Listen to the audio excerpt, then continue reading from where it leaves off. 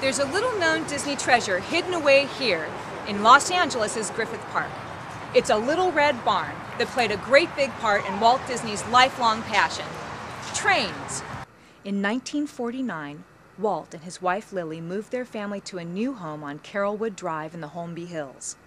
Walt used the opportunity to try his hand at a little backyard railroading. He called his railroad the Carolwood Pacific. The project quickly grew to almost a half mile in length and included a 46 foot bridge and a 90 foot tunnel dug beneath Lily's prize flower patch. The layout was controlled from this barn, which also gave Walt a place to do a little daydreaming. On weekends, Walt loved to take his daughters and guests on trips around the yard. He loved it so much, he decided to expand on it a little.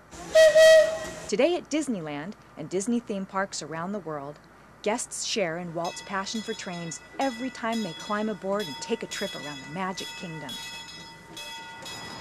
Here in Griffith Park, the Carolwood Pacific Railroad Historical Society has preserved Walt's barn and legacy, along with the generous support of the Walt Disney Family Foundation, so that generations of dreamers can come and visit and be inspired.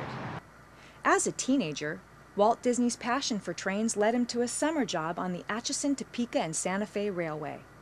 The job was modest, selling newspaper and candies to weary travelers. But it gave him a chance to get out and see the country. And for a boy from Missouri, it was a dream job.